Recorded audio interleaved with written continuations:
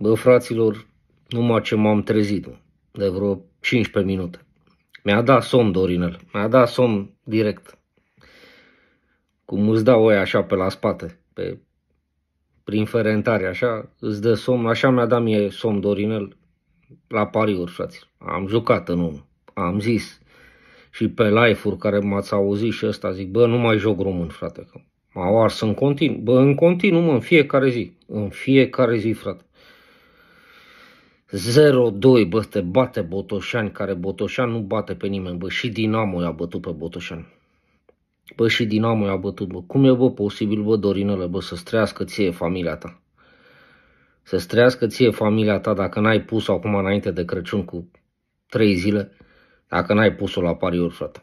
Să moară dracu dacă te mint, dacă nu, că n-ai cum, bă, frate, stau, stau și mă gândesc, mă. Stau și mă gândesc cum e posibil așa ceva.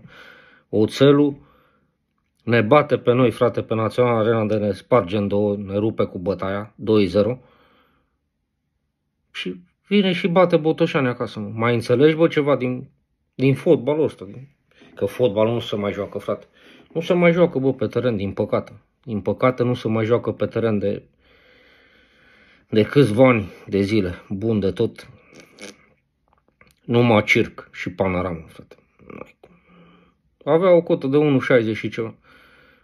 Bă, ăsta, dacă nici ăsta nu e unul, avea șanse să, să se apropie acolo de play-off, să ăsta un meci teoretic ușor cu Botoșani. Vin ăia și te snopesc acasă. A, că ai luat roșu acum, că ai luat roșu și după au dat ei gol. Asta, normal, că asta e săgeata, știi, că, a, domne, că am luat și roșu ăla și ăsta. Da, Dorinel a zis că își dă demisia, cred că și el. Nu mai suportă să îl critique lumea, să ăsta, așa a declarat. După Sabău, fraților, încă un jucător mare al naționalei României, fost internațional, vrea să-și dea demisia. Dacă ăsta a fost meci cinstit pe teren, mă fac preot la biserică, mă duc să moară dracu dacă preot mă fac, bă, fraților.